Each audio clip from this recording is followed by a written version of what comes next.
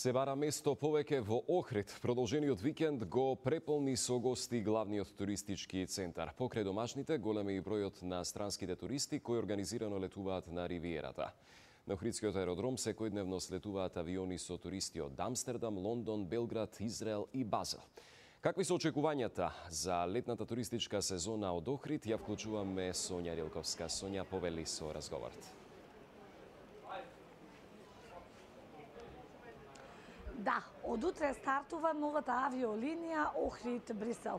За прв пат и туроператорот Томас Кук ке носи гости од Белгија на брегот на Охридското езеро. Новата тема во ова јавување разговараме со заменик градоначалникот на Охрид Ангел Јанев. Добар ден господине Јанев, кажете ни што ќе значи ова нова авиолинија за Охрид? Да, еве, пред да кажам, прво да ги поздравам сите гледачи на Канал 5 телевизија и да се навратам малку наназад за да дојдам до тој момент што е некој врат, некој вид шлок на, на тортата наречен привлекување на туристи од странство. Значи, ќе подсетам дека со компаниите Корендон и Аквафлај од а, Холандија оваа година се најавени повеќе од 150 чартер летови, а, со кои што ние очекуваме повеќе од 25.000 гости од Холандија.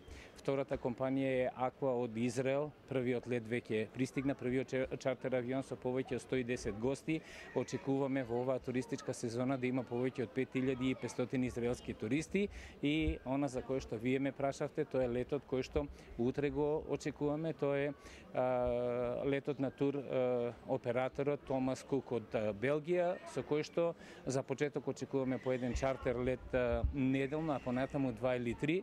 Според некои мои проценки од Белгија и од земите на Бенелукс очекуваме повеќе од 50 чартер летови и исто така повеќе од 5500 гости од овие места.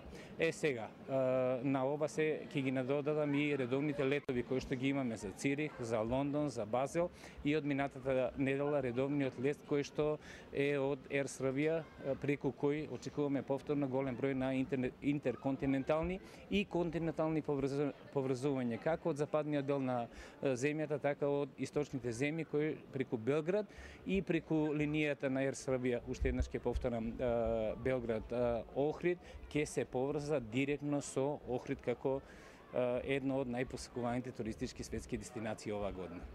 И уште едно прашање, еве првиот продолжен празничен викенд во јуни во Охрид, Охрид исполнет до последно место на вистина едно шаренило од туристи од целиот свет, домашни гости и од регионот. А, какви се очекувањата за оваа сезона? Так, јас ова што го кажувам, го кажувам најмногу за странските гости, да. бидејќи еве благодарение на многу фактори, поширувајќи и локалната самоуправа и ТАВ Македонија и агенцијата за промоцијата на туризмот, големиот број на субвенции, на крај крајева убавините на Охрид гостопниството на Охриѓани и македонците воопшто, се она што можеме ние да го пружиме како град, се причина да Охрид биде исполнет до последно место, а и на почетокот на званичното отварање на туристичката сезона да се бара а, место повеќе. Јас овде ќе искористам оваа прилика да ги повикам а, и македонските туристи да полека, но сигурно се сретуваат со Конохрид како а, дестинација. Денесниот ден токму е показател на тоа дека огромен број на македонски туристи наместо за Грција се одлучуваат за Македонија, поточно за Охрид и другите туристички места, али за Охрид посебно како една туристичка а, дестинација во моје име, во името на градот Охрид, добре дојде за сите нив кои што сакаат да поминат еден а, убав, летен, прекрасен одмор во градот Охрид. Ви благодарам, Јане, што бевте дел од канал 5 телевизија.